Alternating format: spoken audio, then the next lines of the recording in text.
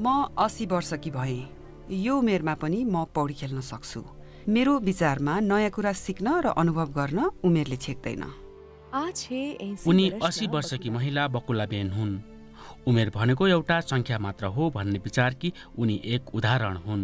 उनले अन्ठाउन्न वर्षको उमेरमा पौडी खेल्न सुरु गरेकी थिइन् र अस्सी वर्षको उमेरमा पनि पौडी खेल्ने गर्छिन्। मेरो नाम बकुलाबेन पटेल हो। म अस्सी वर्षकी भएँ। यो उमेरमा पनि म पौडी खेल्न सक्छु। सन् दुई हजार पाँचमा अन्ठाउन्न वर्षकी हुँदा मैले पौडी खेल्न सिकेँ। पौडीमा मेरो यात्रा तापी नदीबाट सुरु भयो। म प्रतिस्पर्धाका लागि तापी नदीमा नै आफ्नो क्षमतालाई निखार्दैछु। मलाई लाग्यो कि सबैले मैदानमा खेल खेल्छन्। मैदानमा यस्ता धेरै गतिविधिहरू हुन्छन्। एक आमाले सचिन तेन्दुलकरको कीर्तिमानी इनिङ्सलाई जन्म दिन सक्छिन्। म यस्तो खेल खेल्न चाहन्थे जसमा मैदान नहोस्। त्यसकारण हावा र पानी मात्र विकल्प थियो। त्यसपछि मैले पौडी खेल्न सिक्ने विचार गरेँ। यही सोचका साथ मैले पौडी खेल्न सिक्ने कोसिस गरेँ तर म हाइड्रोफोबियाबाट पीडित थिएँ। त्यसैले सुरुका केही दिनसम्म पनि म पानीमा पस्न सकिनँ। त्यसपछि मैले आफैलाई सोधेँ म कहिलेसम्म यसरी पौडी खेल्न सिक्ने कुराबाट भाग्न सक्छु? यसरी मैले आफ्नो जीवनमा कहिले केही काम पुरा गर्न सक्दिनँ। केही समयपछि मैले पौडी खेल्ने दृढ निर्णय गरेँ। पौडीमा उनले राष्ट्रिय तथा अन्तर्राष्ट्रिय स्तरमा पाँच सयवटासम्म पदक र पुरस्कार प्राप्त गरिसकेकी छन्। उनले आफ्नो जीवनकालमा धेरै कठिन समुद्रहरूमा डुबुल्की मारेकी छन्।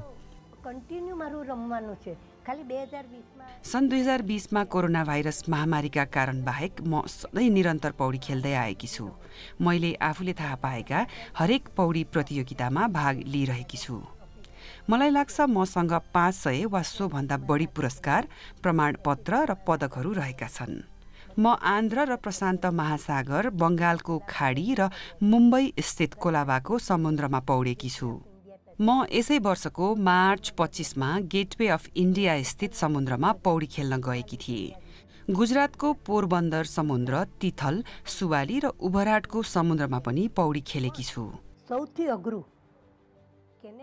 मैले धेरै समुद्रमा पौडी खेलेकी छु। तैपनि ती सबै मध्ये क्यानाडियन सागरमा पौडी खेल्नु निकै कठिन थियो। म त्यहाँ दुई पटक पौडी खेल्न गएकी छु। म बिहान सबेरै उठ्छु। टोपी चस्मा र नोज क्लिप भएको झोला बोकेर तापी नदी किनारमा जान्छु। नदी किनारमा पुगेपछि म चस्मा लगाउँछु नोज क्लिप लगाउँछु र केही व्यायाम गर्छु। आफ्नो शरीरलाई न्यानो बनाउन केही व्यायाम गर्नु आवश्यक हुन्छ। म केही व्यायाम गरेपछि कजवेको भित्ताबाट नदीमा डुबुल्की मार्छु। त्यसपछि म नदीमा सय मिटर पौडी खेल्छु। बकुला बेनले चार सयजनालाई पौडी सिकाउँछिन्। उनको सबैभन्दा ठुलो चाहना भनेको आफ्नो नाम गिनिज बुक अफ वर्ल्ड रेकर्ड्समा अभिलिखित गराउनु हो।